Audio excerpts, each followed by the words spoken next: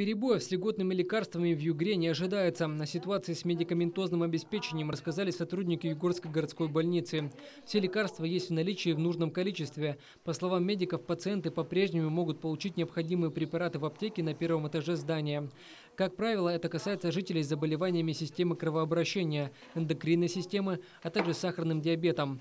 Кроме того, из-за пандемии коронавируса механизм обеспечения льготными лекарствами обзавелся дистанционным форматом. Чтобы получить свой препарат, достаточно назвать в аптеке номер СНИЛСа.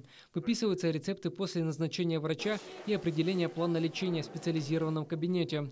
Уже оттуда электронный рецепт отправляют непосредственно работникам аптеки. Ситуация вообще с лекарственным обеспечением в больнице, с льготным лекарственным обеспечением стабильная.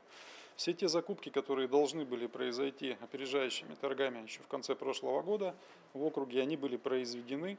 А, лекарственные препараты в достаточном количестве с учетом наших заявок поступили на склад аптечной базы и будут, а, так скажем, по назначению врачей выдаваться вот в этом обновленном аптечном пункте. Ажиотажа никакого нет, напряжения, дефицита лекарственных препаратов тоже нет.